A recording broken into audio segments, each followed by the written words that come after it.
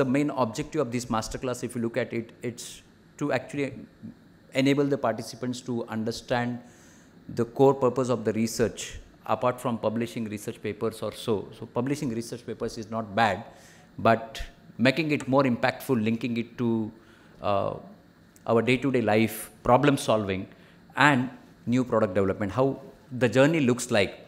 So what is that place where maximum number of ideas die? Where it comes? Mind. We keep, we keep suppressing.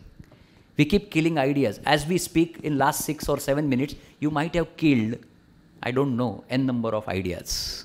You might have killed n number of ideas. It's not about generic ideas that what I'm going to do after 8 o'clock. It's about something new ideas also, and that's the place. If you see, and I'm not saying this, the research says this, that in our mind, and the reason for it, what all of you said, that we have that fear of, ki, I might not get funding, people will laugh at me. We normally have that concept of there is something called as group think. When you sit in a group and you say, and somebody says, okay, tu, you please keep quiet. You always keep talking like this. To chhod de. Like that.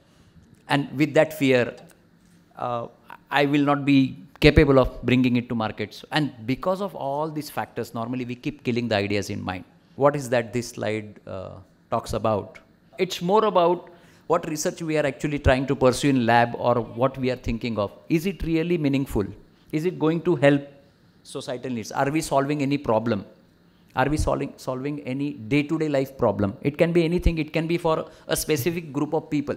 Are we trying to cater to that? Yeah. So that should be the direction. So the slide talks about the direction of the research and the dimensions of the research. Industry, of course, uh, we will have someone talking on how industry comes in picture when you take the ideas from lab to market.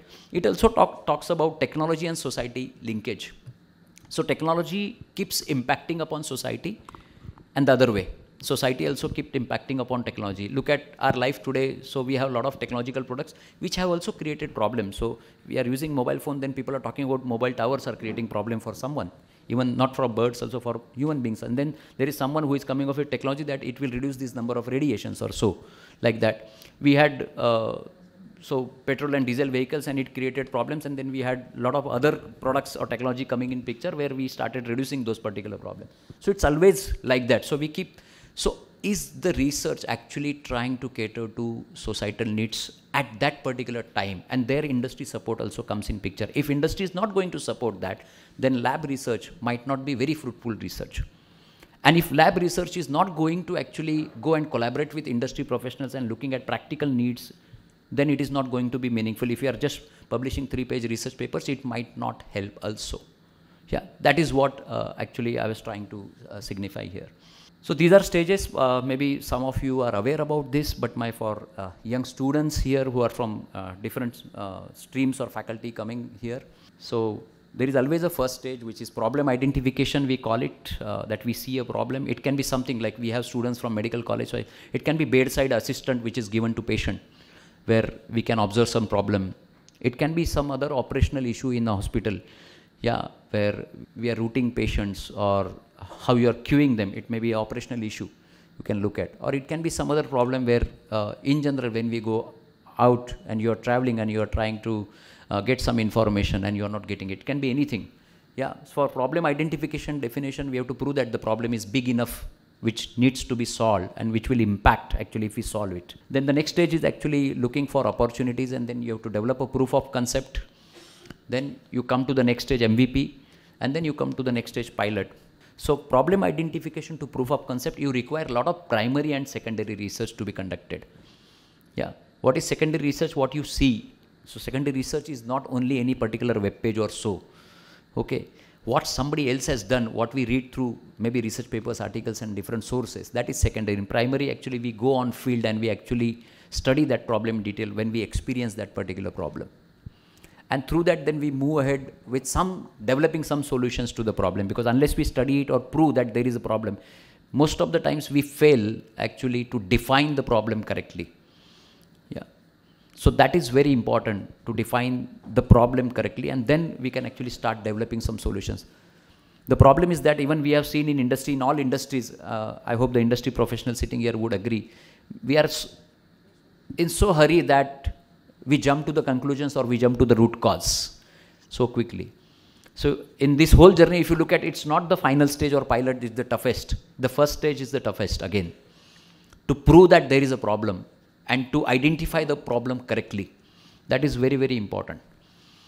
And once that is done, I think next stage is uh, just that you need some handholding or you need some support or you need maybe a lab equipment where you can actually go ahead. So there is a model which we actually developed and we actually advocate this model for entrepreneurs or budding entrepreneurs or wannabe entrepreneurs, what we say that somebody who wants to do something, which is very simple. There is no, as such, it's not a model. It's very simple steps that you are going through a situation. So day in, day out, we actually face a situation where you are traveling here from your home to a place.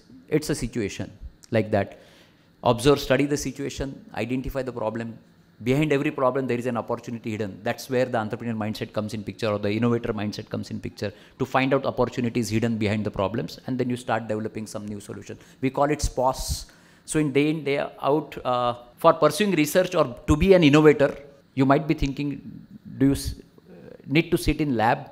Do you need to conduct a lot of uh, secondary research? Uh, do you need to sit for 16 hours with something? Uh, the answer is no. The answer is that do you practice SPOS?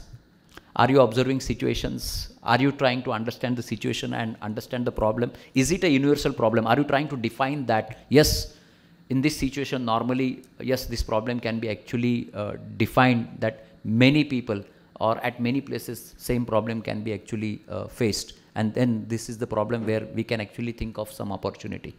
So that's possible. You need not to be in laboratory actually to pursue research also. If your eyes are open, you start wearing the lens. So I call it, if you start wearing the SPOS lens, maybe you can start looking at the problems and you start wearing another lens where you start thinking about, okay, I can solve. And this is where SPOS kind of things help that the point where we started this discussion, that we start, we actually keep killing the ideas. But if we wear the SPOS lens, we might st start storing some ideas. So uh, I invite you to maybe to start wearing this kind of lens where we start actually uh, storing some ideas which might we might keep on abeyance for some research to prove it or to discuss with someone because collaboration is also important. Complementary skill set is also very very important for researchers to come together and do something. So that is my invitation to all of you. Uh, many times we get a question that where to find out opportunities that i really want to do something yeah, especially the business school students here would uh, look for that, the healthcare management students. So where to find out opportunities, where to find out, I really want to do something, but I don't know how to start. What is happening in industry? What kind of trends are there and how entrepreneurial mindset, I'll not say entrepreneurs because entrepreneurship is mindset. How an innovator entrepreneurial mindset start actually catching those trends, studying those trends and develop something which link he links to his capabilities or develops new capabilities actually to work upon it. So this is the place I will suggest. So we need to know the macroeconomic scenario, market forces. Market in general, macroeconomic is very general, but then you can actually pick up industry, one particular industry, what is happening in that particular industry. Like say for example, you can think of like we have an industry coming up, electric vehicle industry. Day in, day out, you read in newspaper or you get a lot of things. But this industry has its own ecosystem what are the trends? It's not only about a vehicle being a non-diesel or non-petrol. It's about so many different technologies which are linked to it. It may be type of technology which the battery is getting manufactured or the battery is getting processed and the way you are going to charge it or so. So there are hundreds of business opportunities around this particular industry. We have to understand the trends, what's happening and what is going to happen for next 20 years down the line. So this kind of things uh, we normally advocate. Uh, people say that, okay, where do I get more ideas? Where do I search for the problems? So this is one uh, way where we can actually look at our external environment, we call it, and we can actually search for different opportunities for innovation. So I think that's all from my side. Thank you.